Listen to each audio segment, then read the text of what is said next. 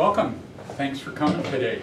Um, you know, this is, I like to say, this is a, a, an increasingly rare thing that people get together in person for common purpose.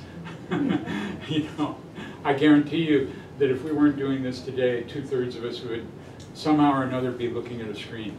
You know, wouldn't be doing this in person. My name is Clay Eals. I um, it's better to be a has-been than a never was, and so I got a lot of has-been in me. I, I, used to be the director of the Historical Society here in West Seattle, and uh, uh, have been involved in West Seattle stuff for decades. I, I was editor of the Herald back in uh, the mid-80s, uh, from 83 to 88, right about the time that the bridge opened. Mm-hmm. Um, and did a lot of coverage of the bridge. In fact, I'm giving a little talk at the Historical Society picnic this Sunday, the day the bridge reopens. Mm-hmm. If you're at all interested, come on down to the museum um, at, at, lunchtime, and it's a great little picnic. And we did a, a, book called West Side Story back in the 80s. That was the first history book of West. How many of you got a copy of that or seen it? Yeah, some of you do. Um, West Seattle is just a fascinating, fascinating place to to get to know and, and the, the secret of West Seattle is once you're here, you're never going to leave because it's so appealing. Um, and I, I, sort of come by my street cred uh, naturally. My mom was born and raised in West Seattle, uh, and up, uh, just across from Hiawatha Playfield. And so as a kid, I was over here all the time uh, visiting my grandparents, and I just loved it. And uh, um, to morph into the topic of the murals, when I was editor of the Herald, um, that was right at the time that the Historical Society here was starting. We didn't have the museum, we hadn't acquired that yet. Our home was South Seattle Community College, it was named at the time. And uh, I was editor of the paper, and you know, when you're a journalist, you're not supposed to get involved in stuff. You're supposed to, you know, you're not, you're not in, you're, you're kind of apart from what's going on and you're reporting on it, you know. But the one area I couldn't help getting involved in was the Historical Society. And, and we, uh, we got a phone coming in. There we go. Um, and when we, um, when, when the Historical Society formed, um, that was Elliot Cowden. Some of you may remember that name. He founded it in 84. And um, I quit the Herald in 88 thinking I was going to become a teacher, a high school teacher. And, and I had five and a half weeks of vacation built up. And I took my bicycle to London and I rode all around England on my bike. And I came back and they'd elected me president of the Historical Society. So beware that that's the way to get involved in something is to go out of town. and uh, right in that era, the, the, time that we, that, that, that I, uh, my last year or so with the Herald, and then starting with the Historical Society, that's when the murals of West Seattle began. And you can see all 11 of them here. Um, and they are the result of the work of this man, Earl Cruzen. Earl was a local legend around here. Um, he was a businessman. He was chair of the Junction Development Committee.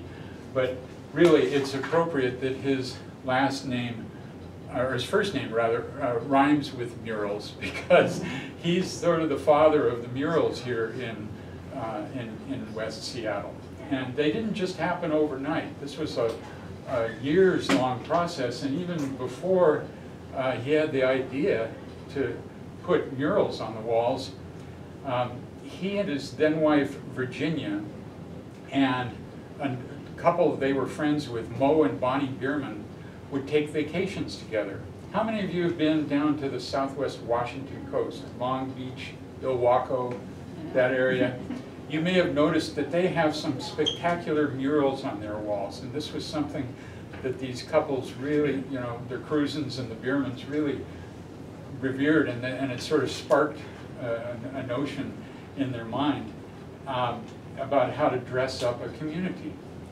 And these murals told the history. One, the one that I love the best, it's still there in Long Beach. It's this giant horizontal mural uh, showing cranberry picking.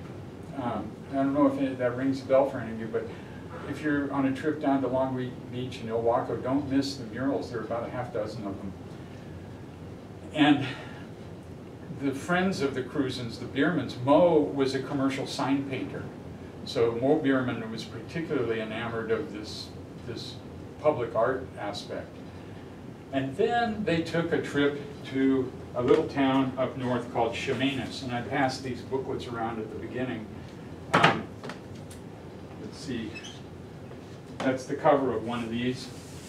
Um, and these booklets are produced by this town of Chemainus. Has anybody here been to Chemainus? It's, it's even hard to pronounce uh, if you don't know it. It, it. You might think it's pronounced some other way, but it's a, it's a tiny town. It used to be a logging town uh, up north of Victoria. It's about an hour's drive of Victoria on, on north on uh, Vancouver Island. And it's just north of a town that you probably do know because of their candy, the, the Nanaimo bars. Any of you know Nanaimo up in BC? This is well worth a visit. But what Chemainus did as a town, you know, their, their logging industry died, it just dried up, you know, as, so, as logging did in so many small towns uh, around Canada and, and in the US. And they decided they needed to do something to, to, so that their town wouldn't die. And their, their slogan here says, the little town that did, across the top. And I always like to uh, insert the letter E in here. They prevented it from being the little town that died. What they did was they contacted and hired world-class muralists to come tell the history of their community, particularly the logging story, but also the native story, and uh, some of the leaders of their town over time. And so automatically, Earl thought, and Mo and, and Virginia and Bonnie, they thought, we can do this in West Seattle. And they ended up using uh, some of the muralists who uh, painted in Chemainus. They became the sort of the core of the contacts that Earl made. Now this is a map you can probably recognize as of, of the junction. And the murals of West Seattle are concentrated in the junction. They're not all in the junction. One is over here um, by uh, what they, they call the Fauntleroy Triangle now. Um, and then one is down here at Morgan Junction. But most of them are here. They didn't all happen at once. They happened one by one by one. And what Earl did, he basically was looking for two things. He was looking for blank walls and money. because there was no, this was not a government program or a grant-funded program or uh, this was, a, a, the Junction Development Committee was, they would raise money to pay a muralist to come in, but the muralist had to have a wall to work with and so you needed the money to pay the muralist and you needed the blank wall somewhere. And there were plenty of them around here. And so Earl had to, um, he, he was kind of the Pied Piper of this and he had to not only um, tell the public about the value of the murals, but he also had to convince property owners that, hey, this would be a really cool thing to have on the wall of your building. And this is the same map. Um, and these are the names of the muralists who uh, Earl eventually hired. And uh, a couple of them did two of our murals, but most of them did just one. Now we can look back and say, this is a great big package. But it didn't happen all at once, as I said. They happened one by one. And imagine if you're starting a project, you don't know how it's going to end. Um, so he started with this wall. Now, this is behind US Bank and Pharmaca. Um, you all know where that is? Mm-hmm. Because you're going to be taking a tour around the junction, but it's not going to be linear, it's going to jump around. This was the first mural that was done. Um, and like I said, and you can see part of the Easy Street Records building over here. Um, this was a collage. Earl's idea was to tell the story of West Seattle, the history of West Seattle through these murals, and to do it with historical photos, with actual photos. These are not made-up images, these are painted from photos of the time. And I was president of the Historical Society then, so I was on Earl's committee, and I was responsible for getting him the photos that, that were used as the basis of this. And I'm, I'm kind of the only one left, the only one left standing. Everybody else involved with this project is gone, except Bonnie is still around, Bonnie, Bonnie Bierman. Um, and th this, in talking with Earl about this, we, we, we kind of came up with this conclusion that, that, that even if we just did one mural, the theme of transportation would be most compelling because you know, I mean, you can get philosophical about this, but just at the top level, West Seattle is all about transportation. You all have a right hand, right? Stick your right hand up in the air and put it out in front of you and look at the back of your hand. Well, the rest of your hand is the rest of Seattle. West Seattle is the thumb, okay? And the whole story of West Seattle is how do you get from the thumb to the hand, you know? And so transportation is very much key to the history of our peninsula. And really, if you think about it, transportation is, is life. It's life itself. Like, if we just stand here and we don't walk or move or drive or bike or anything, we die. You know, transportation is movement. We go from one place to another. So this was a really fitting theme for the first mural. And this is the, well, I'll, I'll get to this. This is how it looks today. It's quite beautiful. Um, and the, the, uh, the collage works pretty well. It starts with the first ferry boat on Puget Sound. This had its maiden voyage on Christmas Eve of 1888. And this is the ferry that's called the City of Seattle. And this is taken from a photograph where it's coming from downtown Seattle over to uh, the foot of Ferry Avenue. In fact, you can still see the piling sticking up out of the water um, just south of where the water taxi is today and marination. Um, just beautiful colors on this, particularly the, the flag shows up. Um, this is another view of the ferry coming into the dock. Um, notice how everybody's all dressed up, you know. This is in the from photo from uh, 1891. Um, little sidelight, when uh, when I first met Paul Dorpat, I do the now and then column in the Seattle Times now. Any of you read the Seattle Times with the Sunday magazine? Yeah, well, you'll see me in there every other week. We, sort Jean Sherrard and I have taken it over from Paul, who who's retired from the column, but he did it for 37 years. And I went and met him in 1983 when we were doing a, a special section at the Herald called Bridging the Gap. And I said, uh, you know, I keep hearing about this West Seattle ferry called the City of Seattle. Do you have a photo of it? And Paul goes into his drawer and he pulls out a two and a quarter by two and a quarter negative with a little rip on the top. And he says, here. You know, he didn't know me from Adam. He, he said, just get it back when you're done. I mean, Paul was and is a great guy and it was a big help to our effort to get historical photos um, for the Herald, for the West Side Storybook, and for the murals.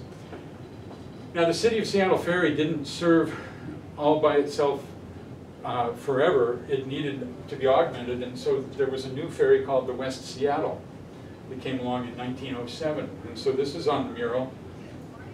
And then once you got over to West Seattle, how did you get around? You know, it's hard to think of a time when there are no cars, you know, or very few cars. To have a car was a big deal. Plus, when you think about uh, today, the, you know, going over the bridge and you look down on Harbor, Harbor Island and Georgetown and, and all of that, that wasn't there. It was mud flats. It was, you, you, you could drive around if you went way south and came back north, but, but uh, and then there were trestles that came across over the years and fledgling bridges, and that's a whole other story. But once you got here, to get around, you needed the streetcar. So this is a representation of a West Seattle streetcar. And then when, once you were here, what did you do? You would go to Luna Park. Luna Park was the huge amusement park down at Duwamish Head. There's a little anchor park now where it used to be. You all know where that is? Okay. And so this is a view of Luna Park from the, from the water with, with a couple in the foreground. It's just made a great collage here of transportation-related items. Was, can I ask, what, was the mosquito fleet involved with this Yes, and we're gonna get to that. Oh. You're good, you're way ahead of me, that's great. Um, Now, this is a little sidelight, this is the same mural, but look at it, it's all faded out. Earl, um, Earl died a few years back, um, and his second wife, his first wife died, and so he married Ada Cruzen, and Ada, as his widow, was in charge of his estate. And she was distressed at how the weather had really damaged the murals over time. And you can see, this is a wall that faces west, and you can imagine the sun setting in the west, so the, just the powerful rays of the sun fading everything out to the point where there is no red in the flag. I mean, the whole thing is faded. So Ada, um, the way she put it was, Earl left me a few extra zeros. and she, she started she, a fund with the Junction, uh, West Seattle Junction Association to restore the murals. And this was the, one of the first to get restored. And so um, the original was by Bill Garnett. I remember him painting that, being up on the roof and going down painting it. And then, and Mo was the assistant. Mo is a story all by himself. He was a commercial sign painter and just a great, great guy. But, it's funny, given that I'm blabbing along here, but Mo could not stop talking. He was a talker. And I've got to step back here about this mural process and explain that when a muralist came, it wasn't like the muralist came to town and poof, the next day the mural was on the wall. It took weeks, sometimes two months for the mural to get up, based on weather and based on the complexity of the project. And that was the beauty of this, and it's the beauty in Chemainus too, that, that, that they would bring muralists in in the summer, and you could just walk up to the muralist and start talking to the muralist and say, well, why is it that color? Or, or tell me, how come you're doing this? Or this is a great job. And the muralists like that interaction, but it's also hard to get work done when people are interrupting you all the time. And so Mo became the, the go-between. He would talk to anybody. And so Mo was assisting every muralist who came to town. I should let you know that, that this became a, a five-year project to get these murals up from 89 to 93. So we're talking about a five-year period to get these 11 up. And then Bob Henry, the local mural artist, is the one who was hired to refresh the mural. And, and so it's, we have him to thank for being able to see it in its full glory today. Of course, it's going to fade eventually too, but um, you know, the, the, the restoration is, is, a, is a great effort, and you'll see in these slides um, the results of some restoration, and then the results of some that are not yet restored and that really need it. And I'm going in the order, the murals, in the order in which they were painted. So again, it's just like zigzagging around the junction. This one is called the junction. Um, it has not been restored. It really needs it. It once was as vibrant as the one I just showed you. And I think this is Eric Grohe created this. And this is my favorite of the 11 because you can't really tell just sitting here. If we were out touring today, um, you would see that the, as you move, the mural appears to move. Because it is the only mural in the collection that is painted with what's called single point perspective. And artists among you may understand what that is. And I'll show you in a minute where that single point is. But what this depicts is there's an archway. It's not a real archway, it's just painted on there. And this is looking north along California Avenue at the very same place as you are standing looking at this wall, which used to be Junction Feed and Seed, and now it's a yoga, Bikram Yoga. And you're looking north, and this is the Easy Street building, and this is Campbell building. And where is the mural? The mural is on the south side of the old Junction Feed and Seed, now Bikram Yoga. Um, do you know where you can do the drive-through to go to Chase Bank? It's, it's a, close to Edmond Street. Oh, okay. Okay, this is in that parking lot. Now, so here's the Ham Building, which we made, got uh, designated a landmark in 2017. You may remember that big campaign we did. Um, This, this building and the Campbell Building can never be torn down now. These are the- among the two earliest commercial buildings in the junction. And here is the single point. And I'll go back to the big,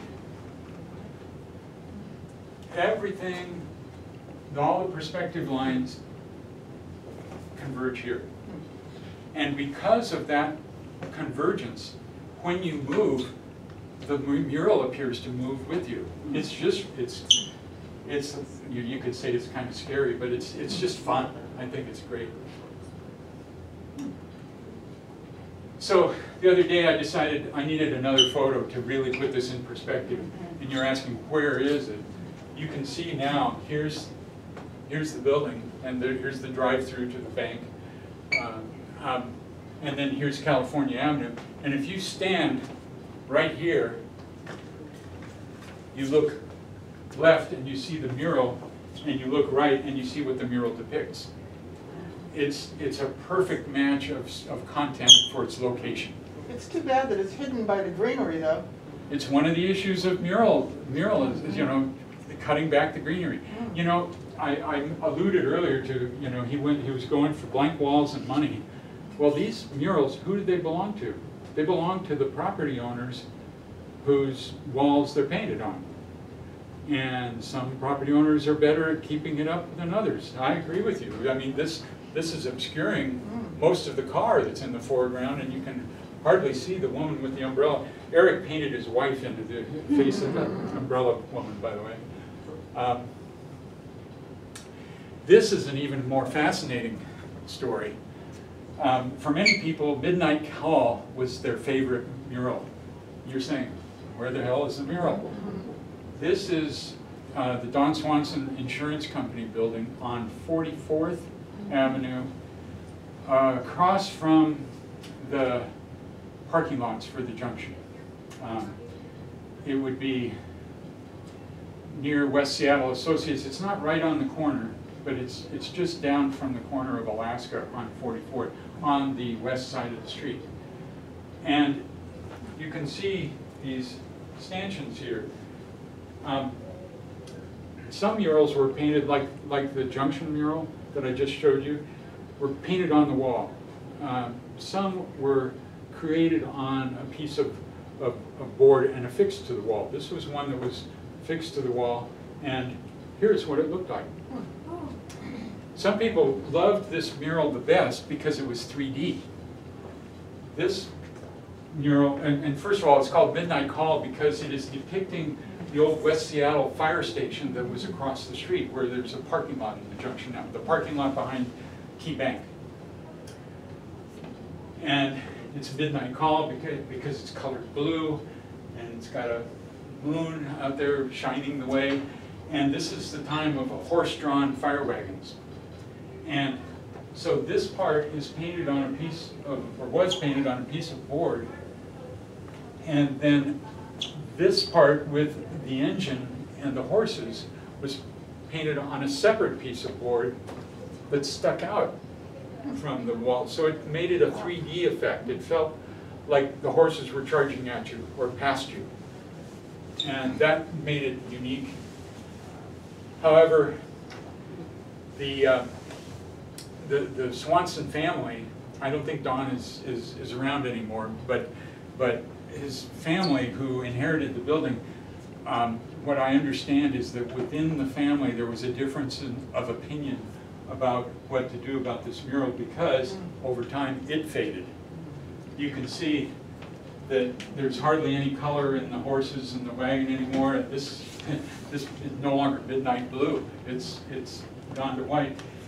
And some thought it was an eyesore, some ought to be, uh, said, said that it ought to be uh, restored.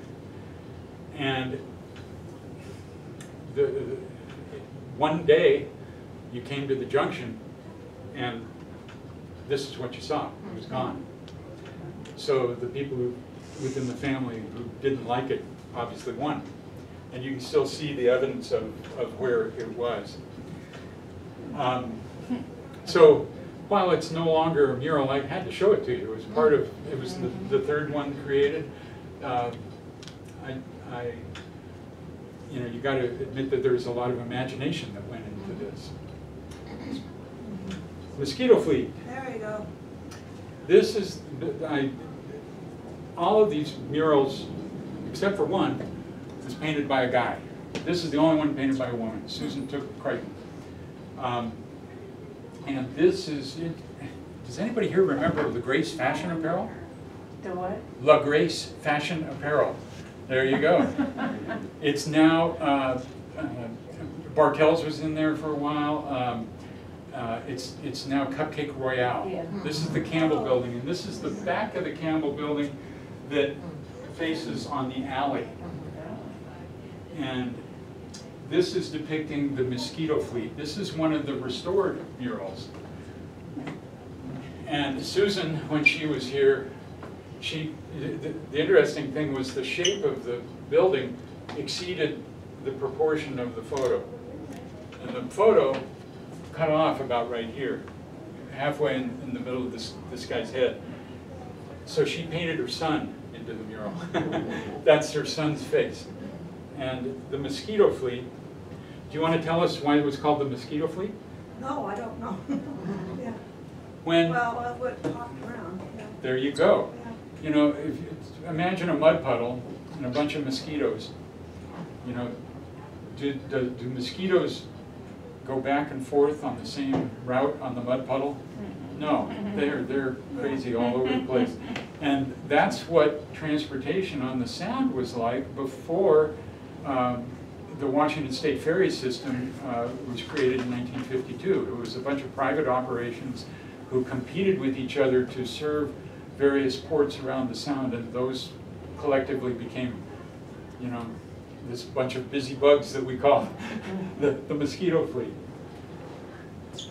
So Susan painted this in 1990. We're already a year into it. This is summer of 90, and Bob restored it. This is an unrestored mural. This is number five. I have a lot of affection for this mural um, because it is so vast and there are some unique aspects of it. One of them is that it was done by the Dafford brothers of Louisiana.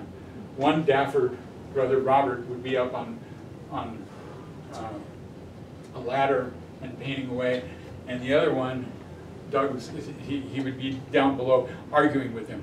No, no, you gotta go over here, no, no, no, and you, and to watch them argue with each other was as fun to, as seeing the mural go up. This is, um, on, off of, the alley back here is where Husky Deli is, okay? And so we're looking to the south. This is facing north. And it's, it's called the first Duwamish Bridge, but it's really a panorama that imagines that if you were up on Pigeon Point, just like this faded couple here, this is what you would have seen, the, the mud flats. And this bridge was the first swing bridge.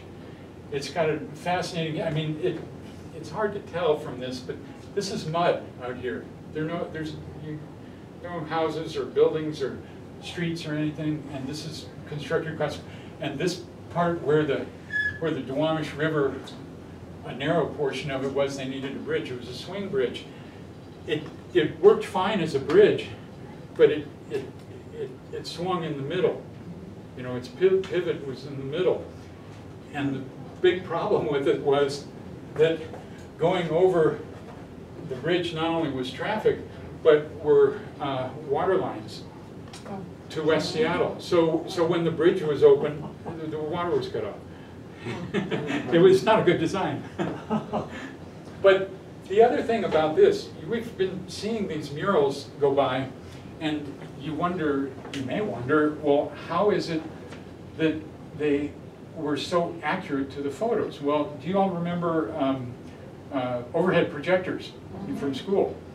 You know, where there would be a, an overlay and, and you could project it up on, on a screen. Well, the artists did a model of what they were going to uh, accomplish, and then out in the middle of the night, because it was too bright in the daytime, They'd go out in the middle of the night and shine it on the wall by overhead projector, and then that allowed them to ink in the boundaries of what they were going to paint during the day.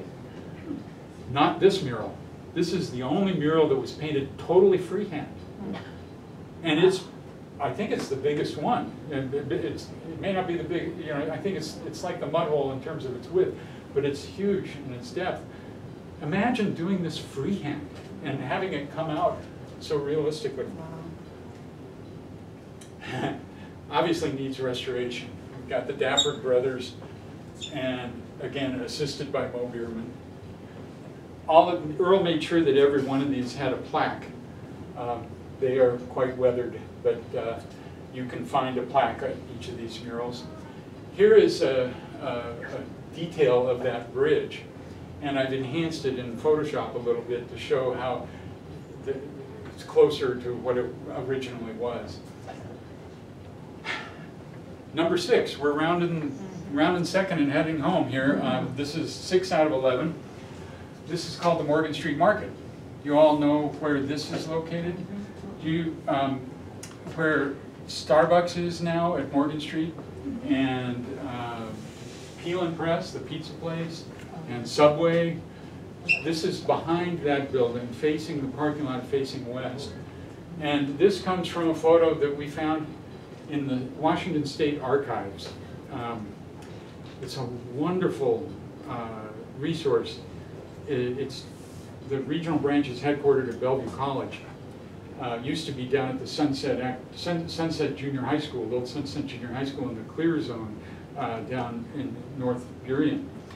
Um, And they have all of, they have a myriad of records for our Puget Sound area. But the showcase collection they have is, uh, back in the late thirties, the assessor figured out, the King County assessor figured out that, that, that the assessments were not accurate for many properties. They were undervalued. So he ordered a survey of every property in the county and got some federal funding for that. And as part of the survey, people went out, hired by the county, to take a picture of every standing building in the county. From 19, it, it took them several years, 37, 38, 39. So imagine that as a historical resource. They used those, and, and let's say you, you built a house uh, in the 20s, and so there's a photo of your house in 1937, and then you put a dormer in. Well, that meant your house cost, it, it was assessed more, so they had to do another photo to document the fact that you had done that. So in some cases, some properties have three or four photos. They're prints, you know, little prints on a property record card. And, and today, it's a wonderful resource. They do everything by computer, and they stopped doing the photographs in the early 80s. But where did you, where do you put all that collection? That went to the state archives. And this, this is based on a photo of the Morgan Street Market, which is now where West Seattle Thriftway is. So if you're standing looking at this, the Starbucks building is in the way, but it is what you would have seen looking this way, uh, looking at the southeast corner of Morgan in California. And it was, it was an early day shopping center, as you can see. You know, different shops for different purposes, produce, et cetera, with a little Texaco gas station in the front. And the photo from the archives, it was, it was kind of blank. There were, there were no people in it, there were no, no cars. Um, So the muralist, uh, he um, populated it with cars and, and people. And this was the first mural to be restored under the Ra- mural restoration program. It's just a, it's just full of life. This is obviously Gatewood Hill up behind, and it's depicting Morgan Street Market from about 1937. Whoops. And just a, a, a bit of uh, detail, uh, he put Moe on the license plate. That's of the red car here. This is painted on the building. Is this, And- is this in Morgan Junction? Yes, it's the only one outside of the Alaska Junction. Um, But Earl found a, a blank wall and some money, so let's do it there. I mean, why not? And I was able to come up with a photo that fit the Morgan Street intersection, you know, we, we worked together on this. This one, I bet nobody in the room knows about because essentially it's gone. This is what it is today, but who remembers Huling Brothers Buick? I mean, it was Auto Row there along Fauntleroy Way. And Steve Huling wanted to get in on this mural stuff. Well, it's not quite the junction, it's several blocks downhill. But he wanted a photo uh, on his wall when that building stood, uh, along Fauntleroy Way, just to the south of Alaska Street. And I found in my mom's uh, collect photos, just, you know, we all have photos like this where, where a photo was taken for a certain purpose, somebody's in the foreground, but what's really interesting is what's in the background. Well, my mom had this photo, it was taken up from Admiral Way, um, about halfway down Admiral Way, looking out over Alki.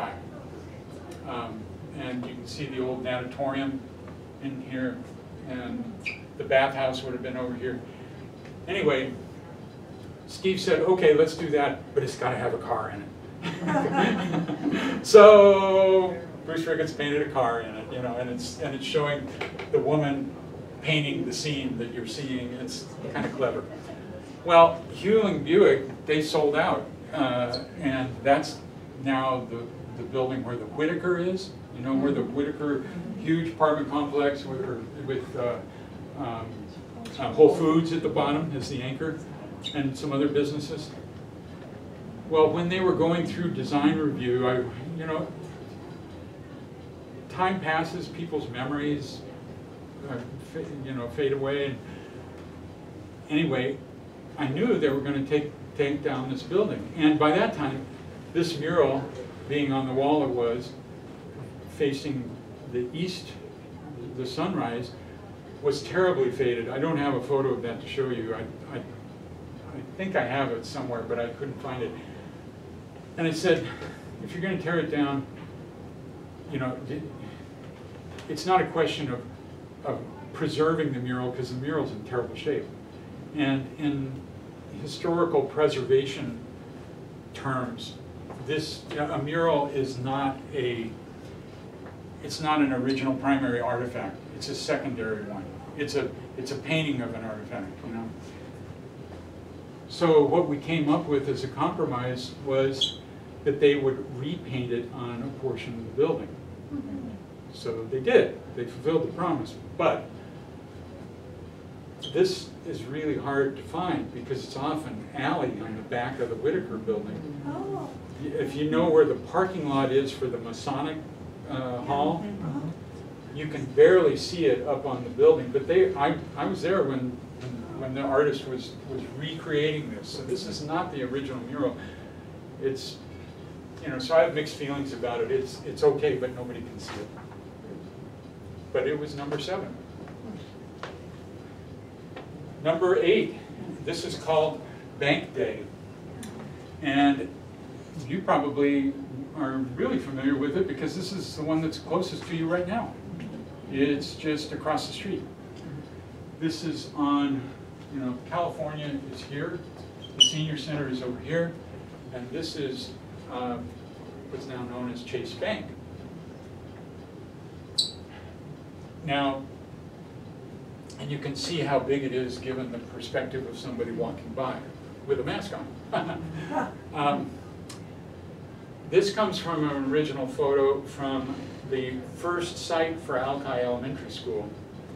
And you can see that it's dated 1923. Miss Chilberg was the teacher there to, to honor, I think, the teacher at the first Alki school. there is a small side street just off of Beach Drive called Chilberg Street. Oh, I live near So that. that's where the, the school was, before it was located on 59. Oh, okay. And this was a big deal back then, it really was indoctrination, you know, to get, to get uh, little kids involved in the capitalist system, you know, bank, stick your money in the bank, you know, that's where it's safe. I mean, and I'm not saying that's a bad message, it's just, it's a message. And this was, this is Chase Bank, but it was, you may remember the financial collapse back in 2008, this was Washington Mutual, the friend of the family, who didn't, turned out to be not so friendly. Uh, And so this was a, a, a case of Earl uh, matching money and a blank wall with a message. So these kids are lining up every Monday morning to, to deposit five, doll- five cents into their account or whatever. The, Tuesday, Tuesday Tuesday, I'm sorry. day. sorry, And it's true, it was. you remember this. Oh, yeah, and it was good. Washington Mutual. Oh, And the head of the Washington Mutual Board was Dietrich Schmitz. Schmitz family is all over West Seattle, Schmitz mm-hmm. Park, Schmitz School, Schmitz, a lot of things. And Joanne Schmitz Fulton, the grand niece, uh, is, is here in the photo. And she spoke at the opening ceremony. I videotaped all these ceremonies. Um, Each mural had an opening ceremony with the muralist talking and Earl and anybody else related to the mural. So this is kind of fun. Um, The detail that it really makes me smile about this, and, okay, here's the detail of the, of the words. The most important feature of the system is that it teaches the child the regular habit of thrift. And this is the artist, uh, Alan Wiley. He was, I would say, he was the funniest muralist. He had the best sense of humor. Loved working with Moe. And he create, he painted this on the side of the building as if it were a painting stuck on the building, but it's not, it's painted. And the, im- the illusion of that comes with all of these little cracks. And then the corner of the thing's turned up. So that when you see the corner, you see his signature. But the most fun thing about this um, is over here, he also signed his name, and there's something else. Did I get it? Where, where is, oops, where is it? Oh, it's just off at the bottom, Mira, that's okay. But Alan mischievously, he thought Moe was such a character, that when Moe was a kid, he would have carved his name. photo. Oh, I see it, yeah. So it says M-O-E. Now, this one has been restored. If you go look for M-O-E,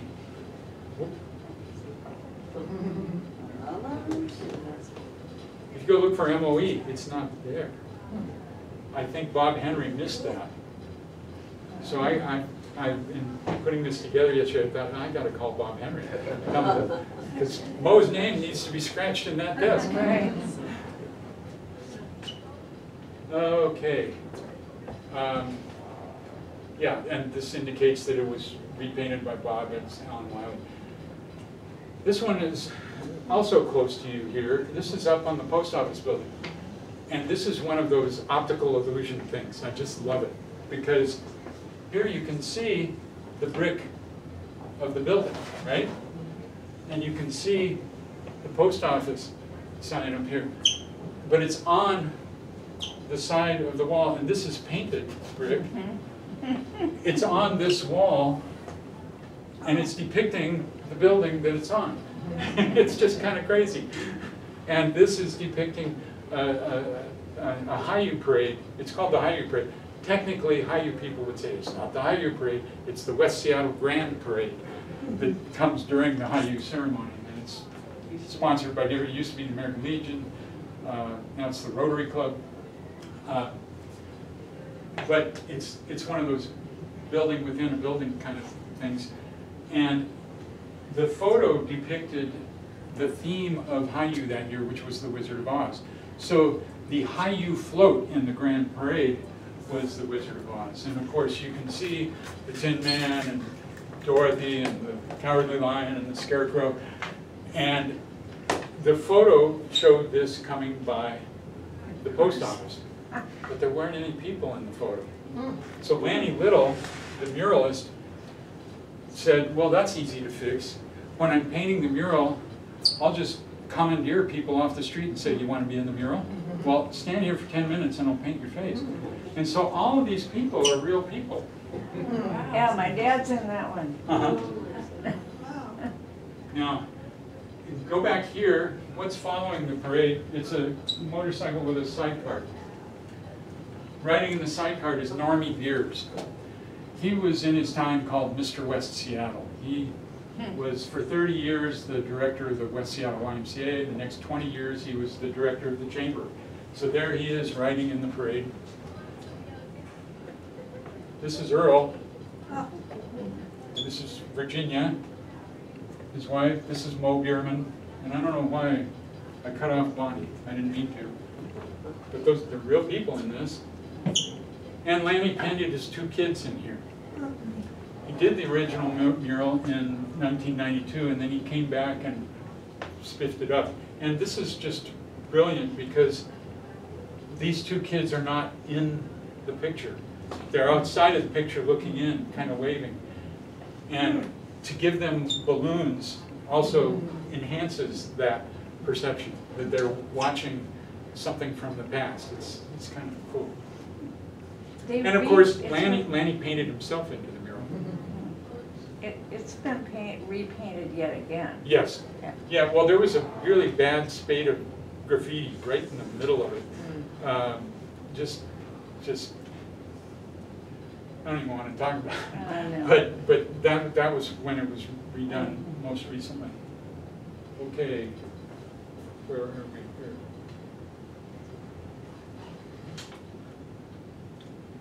I don't know what's going on. Hmm. Mira, I need a miracle. Wow. Can you move it along? Okay, number 10, thank you. This one is so wide that I had to do a panorama photo of it for you, um, for you to have it um, make any sense. Um, It's called the Old Mud Hole. Most of us know in Lincoln Park where Colman Pool is. But before Colman Pool was built in the 30s, as part of WPA, there was what was called the Old Mud Hole. So this is the peninsula of Lincoln Park sticking out.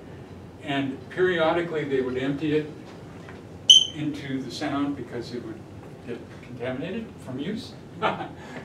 But this is tru- truly panoramic. Uh, These, these two girls are in the photo. All these people are, this is, this is really what it looked like. It's from a panorama photo from the Colman family. The Colman family from Laurentide and uh, the Fowler area owes a lot to them.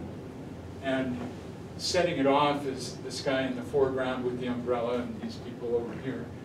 Uh, And the location of this is um, off of 44th. It's facing north. I gotta say, it's about halfway down. It's an apartment building and, and it's on the north side of the building. Yeah. And this is what it looked like before. It, it- it was refurbished, there, there was, somebody, uh, I should have looked this up, it's about three, four or five years ago, somebody had painted an ice cream cone here, like the girl was wearing, carrying an ice cream cone, and they did some other uh, impromptu modifications.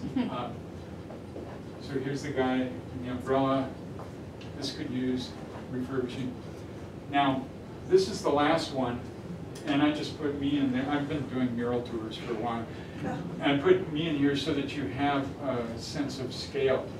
This is across the street um, from the Duwamish Bridge one.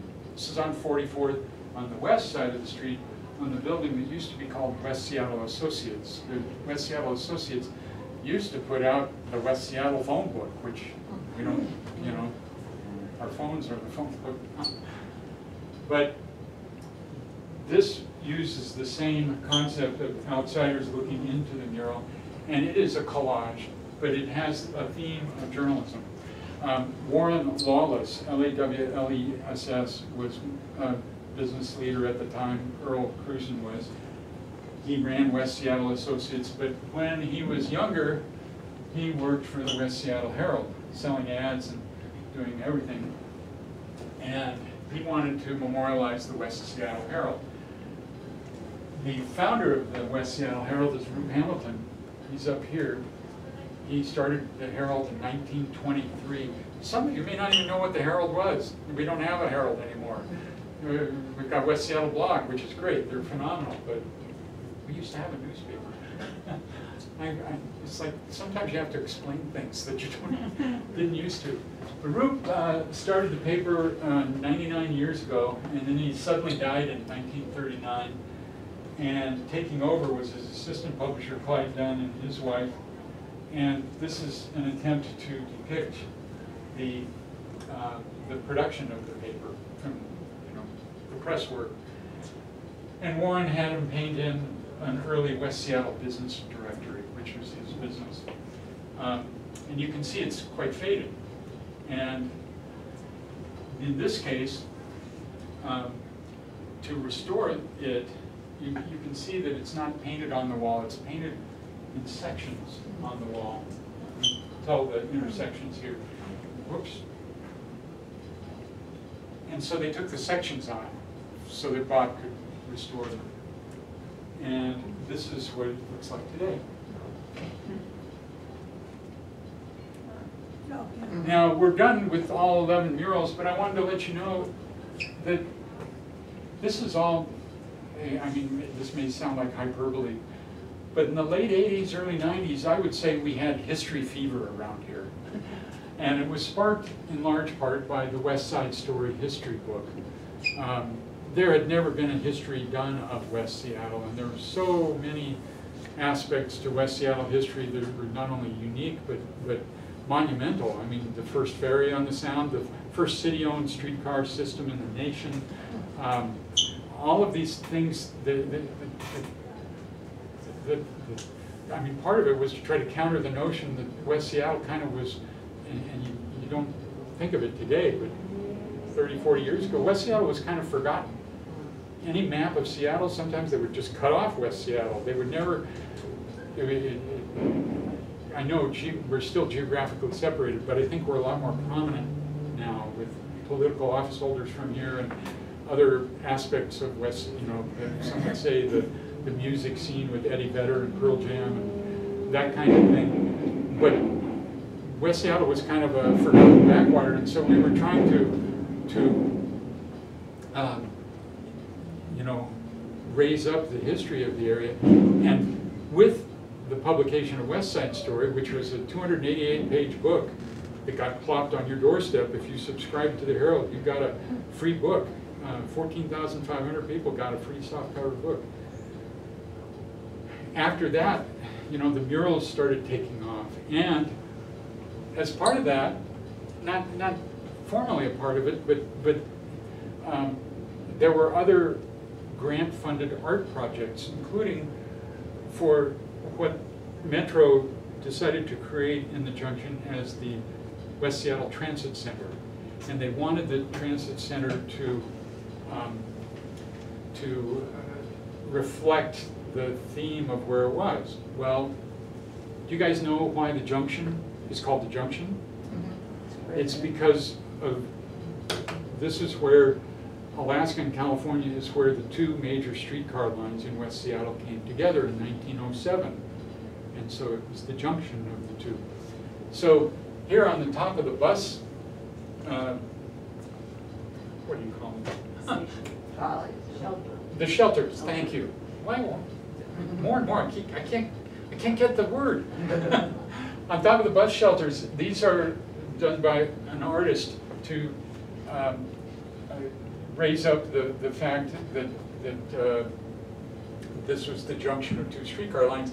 And these are sort of, this is the electricity from them, right? So when you go, when you walk through that block, look up, these are still there, they're pretty cool.